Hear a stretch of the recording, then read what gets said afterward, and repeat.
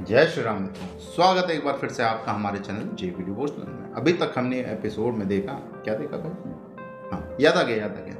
हमने एपिसोड में देखा कि किस प्रकार से जो हमारी रानी कह गई हैं वो चली गई हैं कोप भवन में। हाँ हाँ। कोप भवन में। और वहाँ का पूरा उन्होंने ड्रेसअप कर लिया है कोप भवन के अकॉर्डिंग जैसा कि उनका रिचुअल चल रहे हैं वैसा। इतने दिन बाद एपिसोड देख रहे हैं तो सही भूल गए एक अरसा हुआ। एपिसोड देखे हुए देखिए जिस तरीके से वो माहौल बना, एक मंथरा द्वारा बनाया गया कि किस तरीके से आपके विरुद्ध सारे कार्य हुए और उस मानसिक स्थिति को देखते हुए उस परिवेश में आ गई हैं देवी क्या गई क्योंकि उनकी मानसिक स्थिति इस वक्त वैसी ही स्याह हो रखी है जैसा कि वो कमरा है और उनका गेटअप। मन और बुद्धि में से बुद्धि जीत गई। मंत्रा ने सारी जो अपनी बातें हैं उनकी बुद्धि में ट्रांसफ़र कर दी और बहुत सोच विचार करने के बाद क्योंकि अंतर्युद्ध हुआ उनके मन में और बारंबार मंत्रा भी रिसेंटली कहीं है तो वो हार ही पड़ गया पत्थर भी पड़ेंगे अभी जल्दी ही पड़ेंगे। अकल पे भी और राजा दशरथ जी ढूँढने जा रहे हैं रानी कैकई को क्योंकि अब जो है बारी है राज्याभिषेक की।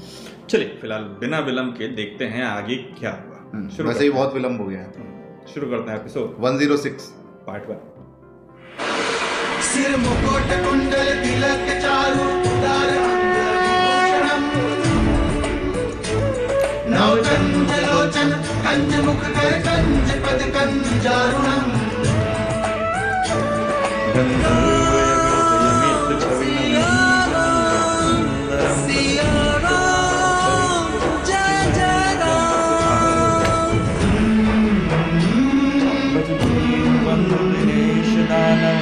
तिलक संस्कार हेतु स्थान ग्रहण करो पुत्र।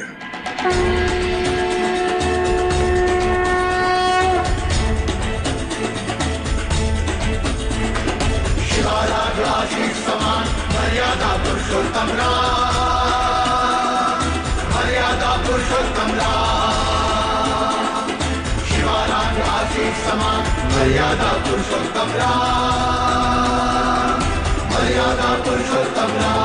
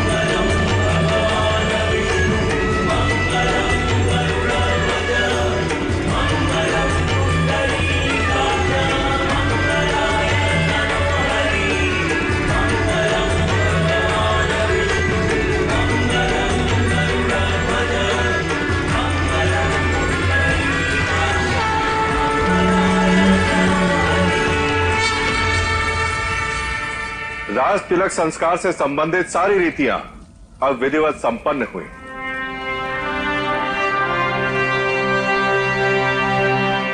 इसलिए राजमुकुट को राजसभा में लाया जाए।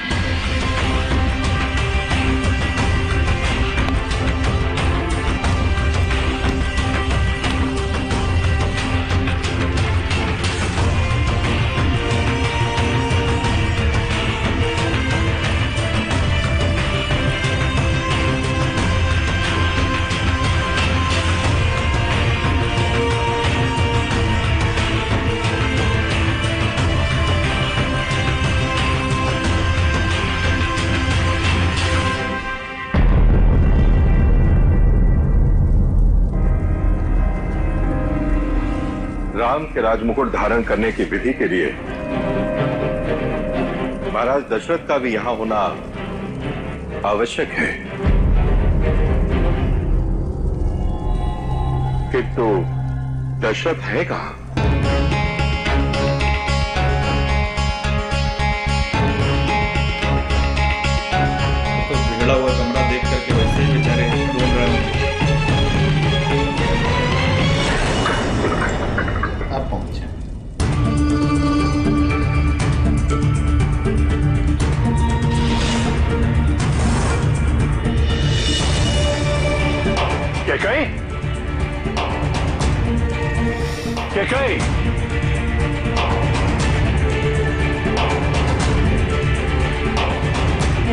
दासी। जी महाराज। महारानी के कई कहाँ है? महारानी कोप भवन में है। गोप भवन?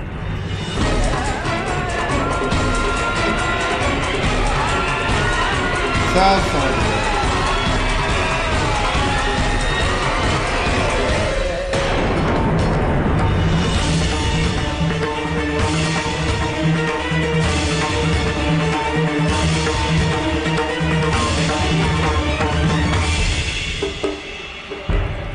राजा दशरथ मेरे ख्याल से कोर्ट में ना जा करके जाएँगे भाई। मुझे लगता है गेट से वापस तो कहती राजा ना बनाओ ये.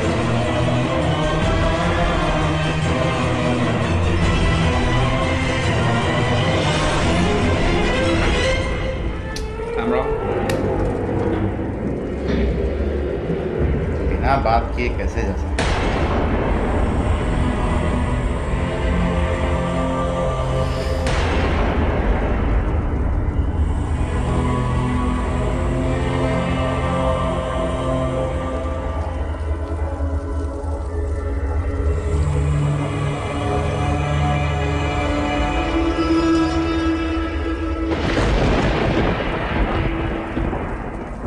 क्या बात है, महारानी?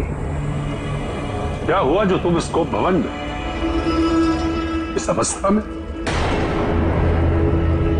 आज तुम्हारे पुत्र राम का राज तिलक होने जा रहा है। यह अत्यंत प्रसन्नता और उत्सव का समय है। इस शुभ अवसर पर समस्त अयोध्या महारानी के कई की प्रतीक्षा कर रहा है। तो तुम्हारी अनुपस्थिति राम मुकुट कैसे धारण करेगा?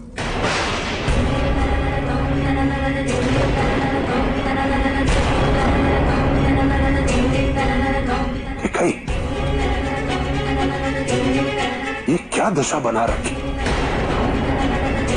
अपने आभूषण और वस्त्र धारण करो और चलो मेरे साथ।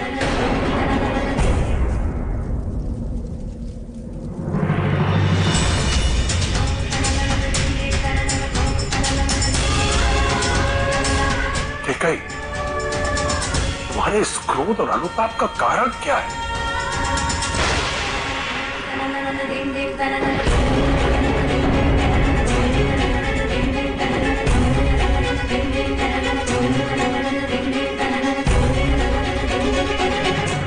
ये देखो।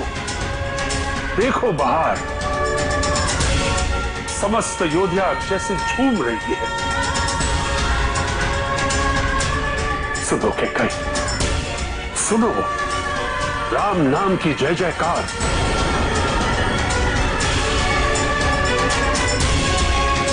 आकाश की ऊंचाइयाँ छू रही और तुम्हारे बिना यह आनंद उत्सव अधूरा है। छोड़ दो इसको पवन को। और चलो सभा में साथ। आज राम का राज तिलक है, महाराज।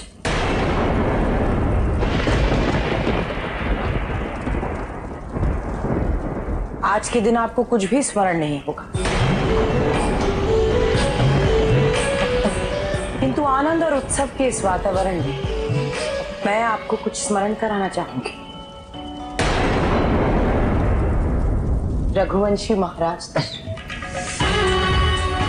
जब देवराज इंद्र ने कंभरासुर के साथ युद्ध में आपसे सहायता मांगी और मैं आपकी सारथी बनकर आपके साथ गई थी।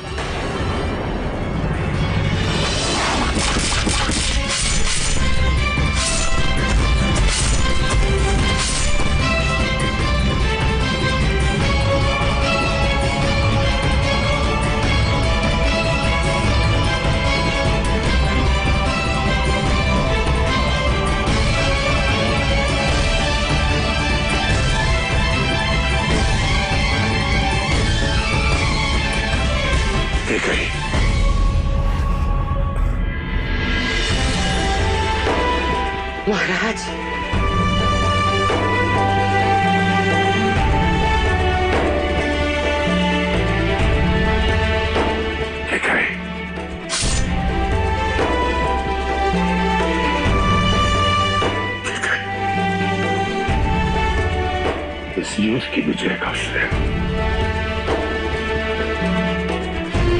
तुम्हें जाता है। तुमने मेरे प्राणों की रक्षा करके देवताओं को दिए वचन की पूर्ति संभव की है। आज तुमने ये दिखा दिया है कि तुम्हें अपने प्राण से अधिक मेरे प्राण प्रिय हैं।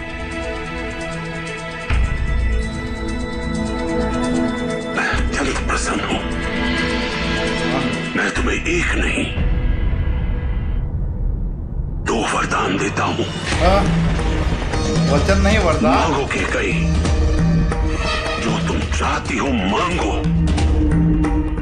खुद को ईश्वर कहते हो तो जल्दी अपना नाम बताओ। इस वक्त जिस प्रकार से राजा दशरथ ने वचन की जगह वचन की जगह वरदान शब्द का इस्तेमाल किया।